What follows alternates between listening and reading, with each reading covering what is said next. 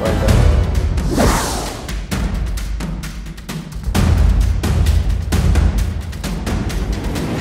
워낙에 몸을 잘 쓰는 배우고 또 배우로서의 관록도 있기 때문에 어떻게 자기 몸을 써야 될지 잘 알아요. 피지컬도 좋고 테크닉도 이미 뛰어난 선수고 강약을 잘 조절할 줄 아는 배우.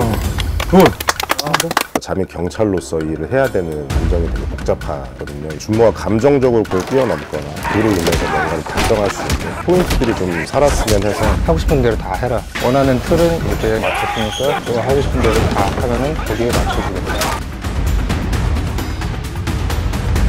유한준 배우 같은 경우는 액션 경험이 그렇게 많지 않은 걸로 알고 있었는데 너무 잘해서 놀랐었고 일단 몸이 빠르고 가진 능력치가 좋아요. 순발력, 민첩성 다 너무 뛰어난 몸놀림을 액션에 녹이려고 복싱 베이스로 치고 빠지는 컨셉을 잡았어요.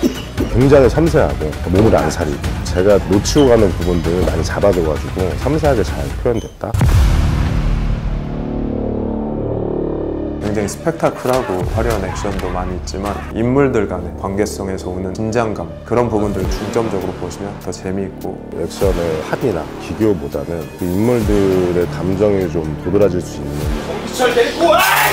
종모라는 캐릭터 감정이 생기면서 회고를 하고 들어야 되는 그 지점을 찾아야 되다 보니까 너무 기술적이지도 않고 말 것이지도 않고 그 지점을 찾는 데 있어서 많은 얘기를 했던 것 같아요. 감정이 교차하는 지점을 만들어야 하기 때문에 위기 때마다 서로가 도움을 주고 서로 쳐다보는 얼굴들 좀 잡으려고 했고요.